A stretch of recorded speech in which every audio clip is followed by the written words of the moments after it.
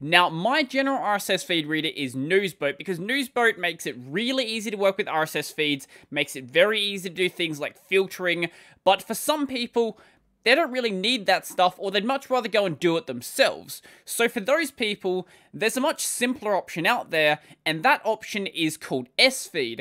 SFeed I wouldn't even call a RSS feed reader, SFeed is basically just an RSS feed parser, and then you have to go and decide how you're going to make a reader around it. Ultimately, you can say, I don't even want a feed reader, I just want to dump everything into my terminal and just scroll through my terminal. Now, when you first try out SFeed, make sure you go and read the README. I know this sounds really obvious, but in a lot of cases, you really don't need to go and do so to work out how an application functions.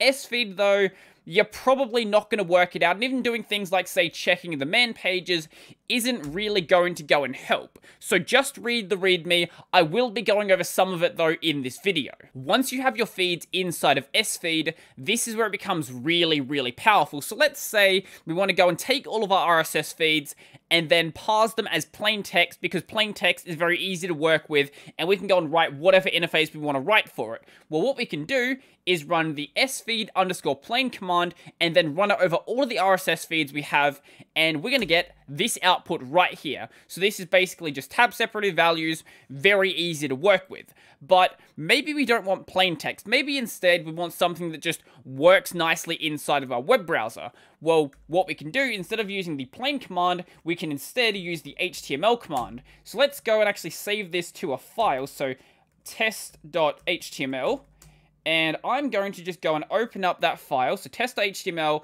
inside of whatever browser it chooses, so Firefox in this case.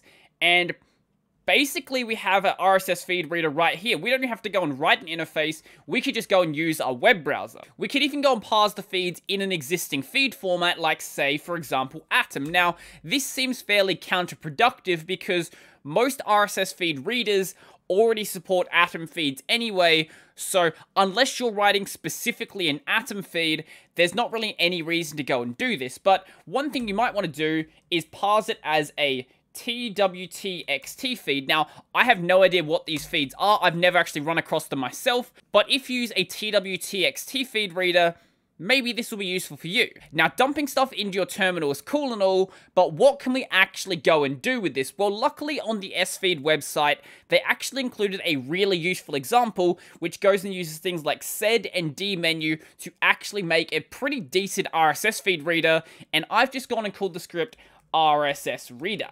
So it looks a little something like this. First, it's going to go and update all of my feeds, and then once it's gone and done that, it should open up dmenu, and then once I actually go and select something, it's going to open that up inside my web browser. So let's say we want to open up the 5.11 main article right here, and that will go and open that up inside of Brave.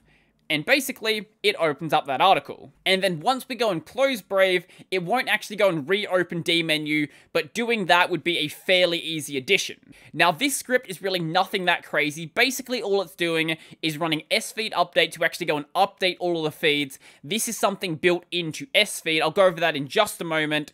Then it's doing a command expansion to grab the URL of the article. So to do that, it's running sfeed plain on all of the feeds and piping all of that just into dmenu. It's not actually doing any parsing on it, so it's just dumping the entire line directly into a line on dmenu, and then it's using this sed command here to strip out the URL.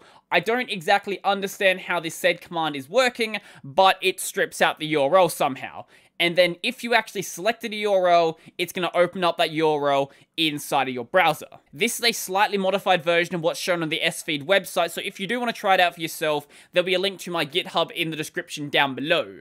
Because of the way this is functioning, it'd be very easy to go and swap out the dmenu command right here for something like, let's say, FZF instead. Or maybe you want to use Rofi, I don't know, whatever you want to use, let's just go and run it as RSS Reader again, and it's going to go and update stuff, and now it's basically opened up the exact same thing inside of FZF. So let's say I want to go and select this one right here, and now it still works exactly the same way. Now, if you're exceptionally lazy, but you still want to run something like SFeed, the developers did actually go and make a curses interface you can use instead. It's not the most exceptional RSS feed reader, but it does the job. If you do want to install it, you don't actually get it with the main SFeed application. You have to go and install it separately. But if we go and run sfeed underscore curses and pass all of our feeds into it, basically it's going to look a little something like this. We can go and move around with our arrow keys or with the Vim keys, whichever one we want to use.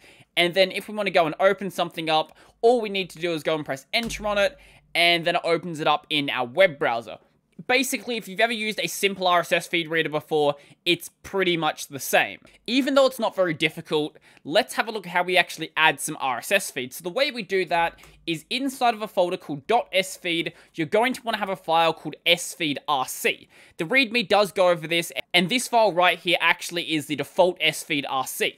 So inside of this, this is actually just a shell script. So this right here is actually a shell function, and inside of here, these are all shell function calls. So if you want to go and add a new feed, you have to call the feed function, you have to give the feed a name, and then you have to give the feed a URL. There are some other things you can go and add, like say the base site URL and the encoding, but those are entirely optional. And then once these are in here, what you can go and do is run a program called sfeed underscore update, and that will actually go and download the update. So what that's actually going to do is save those inside of a folder called feeds. And this is basically all of the feeds you've downloaded. They've already been parsed into a form that's much easier to work with. So unlike being in XML, now they're in the plain text form instead. You don't necessarily have to have the feeds located here. They can be moved if you do want to move them. So inside of the man page for SFeedRC, it explains how to do that. Basically, what you're going to do is set a variable called sfeed path, and you may have noticed that inside my sfeed RC, so this one right here, so home slash dot sfeed slash feeds. If you go and uncomment that and then set it to a different location, it will save the feeds in a different location. If you're using something like sfeed, I can't imagine it's going to be your first RSS feed reader, so this does actually support OPML imports. So let's say I wanted to go and import my feeds over from Newsboat, for example. So what I can do is inside of Newsboat, it has the dash E option. That's going to export out all of my different feeds. And what I can do is pipe that into sfeed underscore opml underscore import, and then redirect that into the location of my sfeedrc. So home slash dot sfeed slash sfeed rc and spell it correctly. And now that I've done that, if we go back to that file, as we can see, all of the feeds have changed in here, but they're in the correct form for SFeed. And you can export your feeds in OPML as well, as you'd expect, it's done with the sfeed underscore opml underscore export command. I'm not going to go and overwrite my feeds inside of Newsboat because I have a lot of stuff in there that I still need to read. But as we can see, these are all of the new feeds we just added to sfeed. Now, one of the interesting things about sfeed is that because the RC file is configured with shell script, you can actually go and override the functions inside of it. Now, you're not going to override, say, the feed or the feeds function, but there are functions being used in the background, for example, like the fetch function, or the convert encoding, or parse, or filter, or merge, or order. All of these ones, you can go and override and do whatever you want to do with them. Personally, I'm perfectly fine with the way they work out of the box, but you may have some use case where that isn't actually the case. Now, one weird tool I'd never seen an equivalent for was SFeed Web. Basically, what it lets you do is you pass in a URL, and it's supposed to go and find an RSS feed on that page. Now, it's very hit and miss whether it's actually going to do that. I've noticed that it works perfectly fine on sites like XKCD and on a lot of news sites, but on YouTube, I can't seem to get it to actually work. It's a nice inclusion, but not knowing whether it's going to work makes it hard to recommend this specific part of the application. Ultimately, you're better off just searching for the feed yourself because if there is a feed, you know that's going to work. Now, instead of reading a feed, let's say instead you wanted to go and make your own RSS feed, one way you can go and host that is over on Linode. If it runs on Linux, you can run on Linode. They have the distros you'd expect available like Ubuntu and Debian, but also Arch and Gentoo because why not? They've got multiple server plans available, so whether you want to host a blog or a personal VPN, you know there's going to be one that fits you. Going forward, I'll be using Linode to host all of my community game nights. If you need help, Linode has 24-7 365 support available by phone regardless of your plan size. So right now, you guys can get started on Linode with $100 credit by going to the link on screen or in the description down below. Linode was in the game three years before Amazon entered cloud computing, so you know they know their stuff. A huge thank you to Linode for sponsoring the channel. So I think SFeed is a really, really cool tool.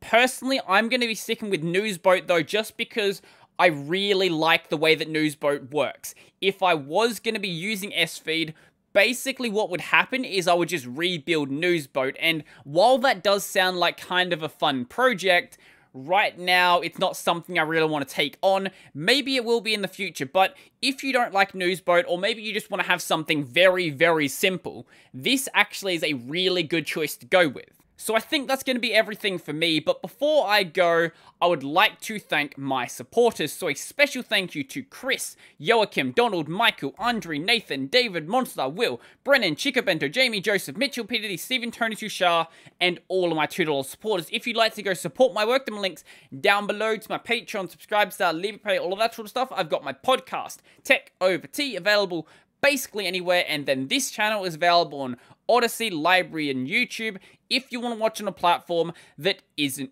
Does say end YouTube? Odysee, LBRY, and BitChute. If you don't want to watch on a platform, sure, whatever. You know, you know the outro. I'm out.